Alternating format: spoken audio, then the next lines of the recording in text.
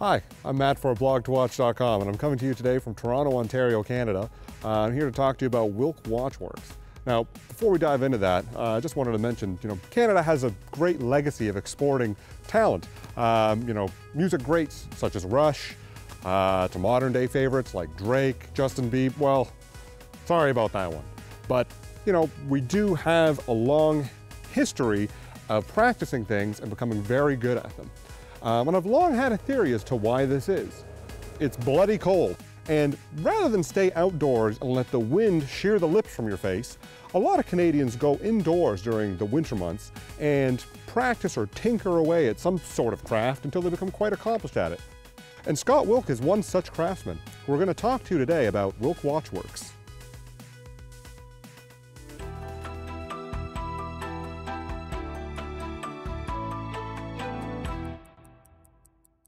My name is Scott Wilk. I am the owner of Wilk Watchworks. I make custom watches here in Toronto, Ontario, Canada. It was Christmas time and the, place was very busy where I was working and pulling long, long hours and uh, I didn't really enjoy it that much. So, you know, I was just, the baby was coming and I was just like, wow, what can I do to like change where, my situation?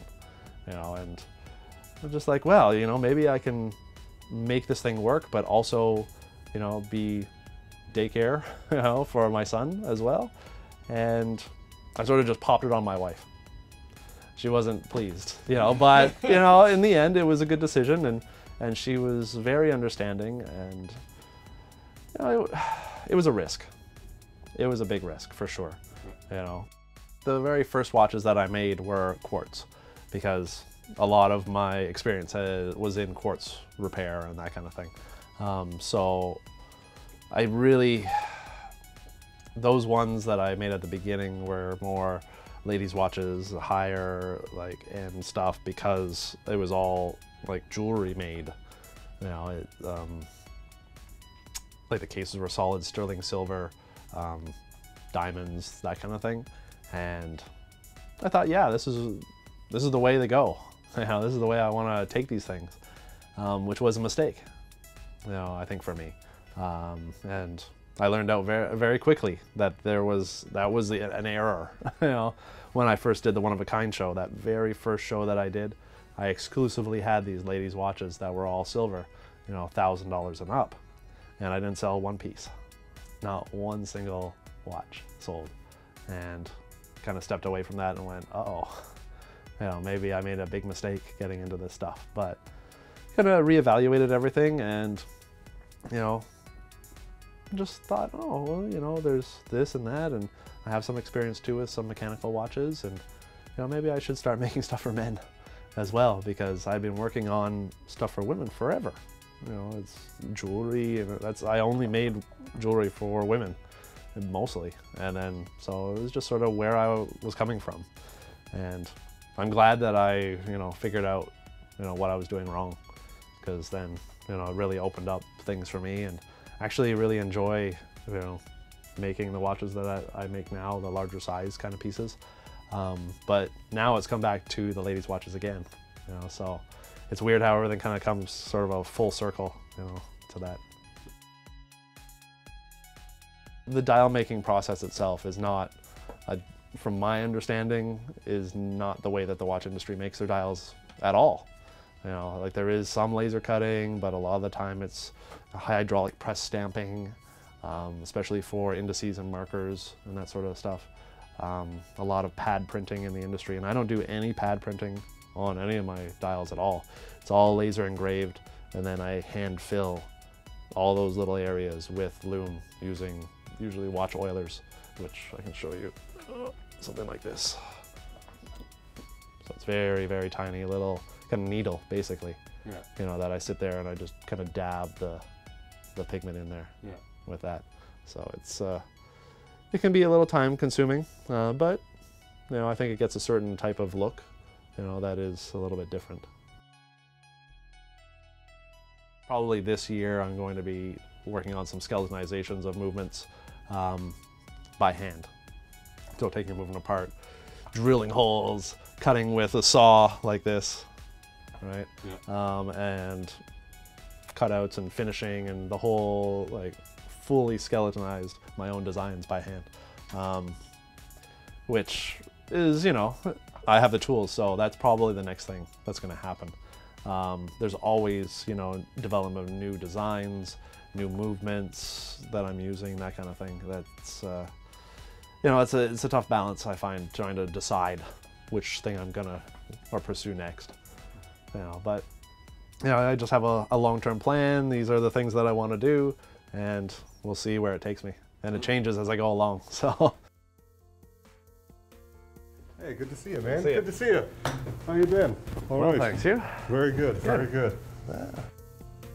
I brought a, a whole selection. Um, the newest um, limited edition. This is the the Lydian Power Reserve Tourbillon. Yeah. So that is uh, 80 hour power reserve with the power reserve indicator as well.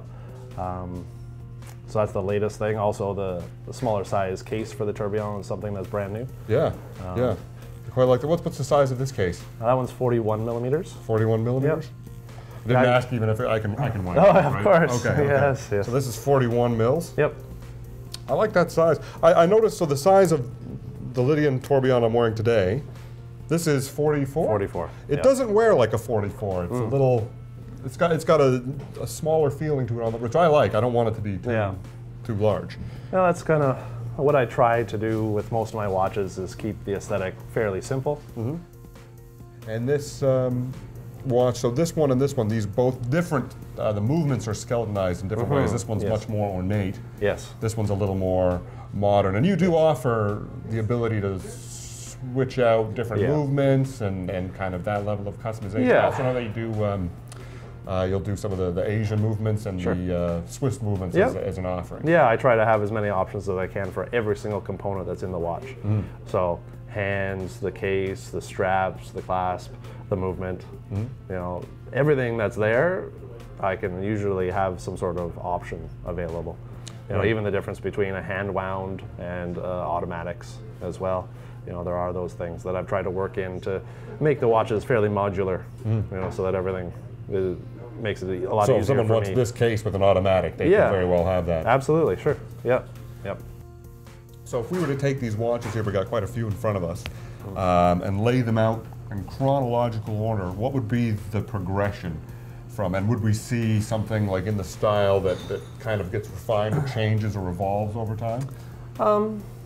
I guess in a way. Like Yeah. the Lydian was one of my original designs. Yeah. Um, now I don't have any of the really old ones here, Mm-hmm. um, but there were some ladies' watches that I made first. Yeah. That were all sterling silver cases and more intricate sort of dials with like antique wallpaper sort of patterns on them and that kind of thing. Yeah. Um, and then I sort of progressed into men's watches more because those ladies' watches weren't really selling, unfortunately. Yeah. yeah. You know, um, and then once I started making the men's watches with the Lydian, um, and I think the Daedalian as well was one of the first ones. Then I progressed into the Tourbillon after uh, two years or something, two or three years, and then also the Classic, which is the Roman numerals, Yep. uh, and the Hazard at that point too. And you have a following of, of people who, who collect these, right? Like you have return customers. I do, yeah, a- a absolutely. Is yeah. there a piece, do you think, that they would say is the most iconic Wilk Watchworks watch? I think probably a lot of people online, like on Instagram especially, they're going to say that the Lydian Tourbillon is probably the one that I'm known for. Yeah. Um, I don't know if that's a good thing or not. You Well, I think it is. I think it you know, I like. It's fantastic. I, I think the design's great. Thanks. Yeah, no, it's fantastic to wear. Um, you know, it's again, I'm just trying to keep the design simple, and then let the movement do the work. Right. Because what do you want to see when you have a tourbillon? You want to see the, wanna see the tourbillon. right? Right.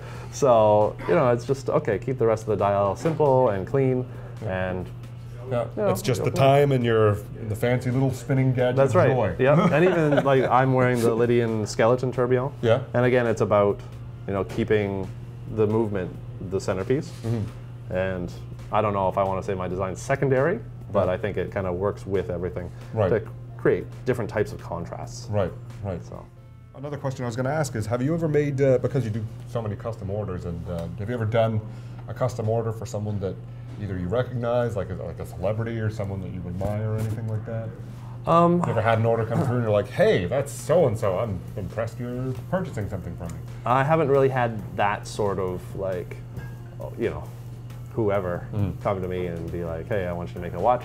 Um, I have had a couple people that I didn't know who they were when they approached me, and then I found out that they were like, you know, Yeah. pretty big deal. Yeah. Um, there was uh, Mason Plumlee. Yeah. He plays for um, Brooklyn, I think, NBA. Yeah. Uh, I made a, a set of watches for him Very uh, nice. when he was working, or working, when he was playing for um, Duke University when he was still in school. Amazing. I, I had no idea who he was when he first Yeah. contacted me. yeah. But after I googled, then I was he was like, oh yeah, I play for, and I was like, because I'm, I don't know anything about basketball. you Yeah. know, Oh, neither do I. I know you know, this. So, yeah. yeah. Yeah, So- I, I took pottery class while other people were playing sports. so let's just put that out there Yeah, yeah. for the internet to make fun of me. What's the best compliment that you've ever received for one of your completed works, either a commission or even just something that someone bought? What's the best kind of comment that you've received um, about a particular watch, collection, one of Hmm. your key, you know, anything like that, that that's ever come up that, that stands out?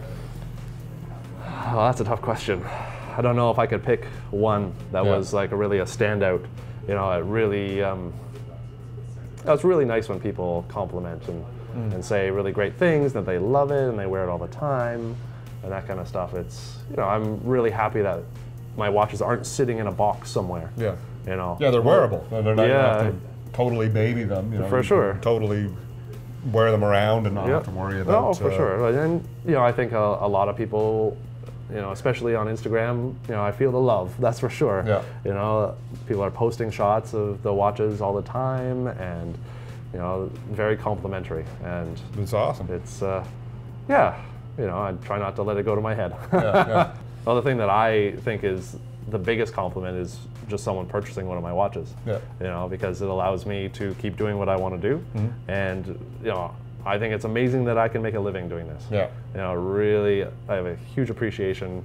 Um, you know, I worked a lot of years doing jobs that I didn't like. Yeah. And you know, now that I'm doing something that I love, I really want to keep doing it. Yeah, So yeah. you know, it's I have an appreciation and you know, for it every single day. Yeah. Yeah. Working away at it, getting better, you know, refining your craft as, Yeah. as you go along. Uh, you know. I, I think it's important for people to move forward and, you know, keep learning and do the best that they can. Mm-hmm. You know, it's it's what I want to do, so I'm gonna want to keep getting better. Right, Right. right. Well, you know, you've got quite an interesting collection here, and I think that, you know, it's really interesting to see that, you know, you kind of dove into this head first, and, and you know, the fans are watching you kind of, you know, work your way into becoming a more accomplished watchmaker. And as an interesting byproduct of this process, you can buy Tourbillon for $1,300 Canadian, and I think that's that's a pretty good byproduct of any process, if you ask me. So you know, I think that you know, it's definitely something that people appreciate, and uh, you know, we definitely appreciate having you here today on a blog to watch.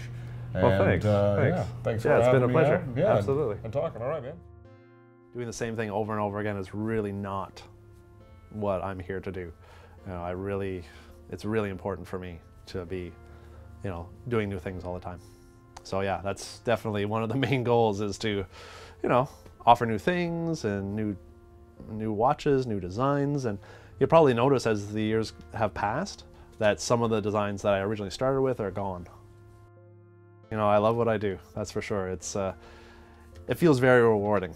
You know, I accomplishing new things all the time and having happy customers, of course. Uh, you know, it's um, it's satisfying to do what I want to do, and as hard as it is sometimes to kind of be your own boss and keep focus sometimes, or you know, eh, and be overwhelmed totally at certain points, it's still worth it. You know, it's I wouldn't change anything.